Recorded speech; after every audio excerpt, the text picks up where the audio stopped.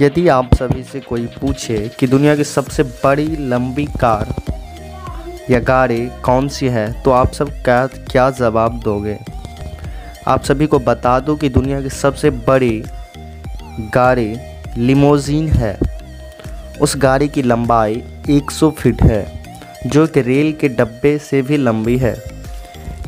क्या आप सभी को इससे पहले पता था? यदि हाँ तो नीचे कमेंट में ज़रूर बताइए। सभी को पता है कि भारत का सबसे लंबी सुरंग कौन है। यदि नहीं तो चलिए आज मैं आप सभी को बता दूँ कि भारत की सबसे लंबी सुरंग चेनानी नासरी सुरंग है जो कि जम्मू कश्मीर राज्य में स्थित है। इस सुरंग की, की लंबाई 9.2 किलोमीटर है। क्या आप सभी को इससे पहले पता था?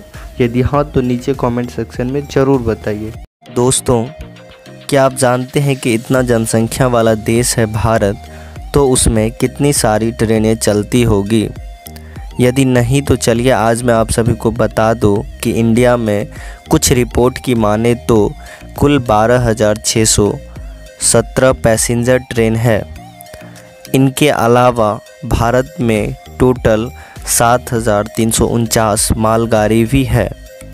क्या आप सभी को इससे पहले पता था? यदि नहीं तो नीचे कमेंट सेक्शन में ज़रूर बताएँ। दोस्तों, क्या आप सभी जानते हैं कि हमारे देश के प्रधानमंत्री कहाँ रहते हैं? बहुत सारे लोगों के मन में सवाल उठता रहता है कि इतने बड़े आदमी हैं तो कौन से बंगला में रहते होंगे? चलिए, आज मैं आप सभी को बता दूँ कि हमारे देश के प्रधानमंत्री सरकारी आवास में रहते हैं। राजधानी दिल्ली के लोटेलियल जोन के लोक कल्याण मार्ग में स्थित है। इनका बंगला नंबर सेवन है। नरेंद्र मोदी जी साल 2014 से यहीं रह रहे हैं। प्रधानमंत्री आवास का अधिकारी नाम पंचवटी है। इसे पाँच बंगलों को मिलाकर बनाया गया है। इसका शॉर्ट नाम सेवन आरसीआर है। सेवन आरसीआर में रहने वाले सबसे पहला प्रधानमंत्री राजीव गांधी थे। वो साल उन्नीस सौ चौरासी में यहाँ आए थे। क्या आप सभी को इससे पहले पता था? यदि हाँ तो कमेंट सेक्शन में ज़रूर बताएँ। ऐसे ही वीडियो देखने के लिए यूट्यूब पे हमारे चैनल को सब्सक्राइब कर लीजिए। हेलो दोस्तों, क्या आप सभी को पता है कि दुनिया का सबसे पावरफुल इंजन कौन सा ट्रेन का है? यदि नहीं तो चलिए आज मैं आप सभी को बताता हूँ कि दुनिया का सबसे पावरफुल इंजन का नाम वेग 12 है, जिसका वेट 180 टन है और ये इंजन तीन फ़ेज़ का इंजन है।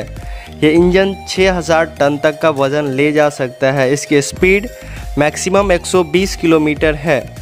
इस इंजन को मध्यपुर के बिहार में बनाया गया है।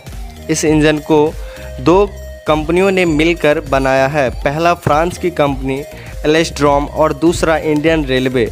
आप सभी को बता दूँ कि हमारे देश में पहले मालगाड़ी में दो दो इंजन लगता था।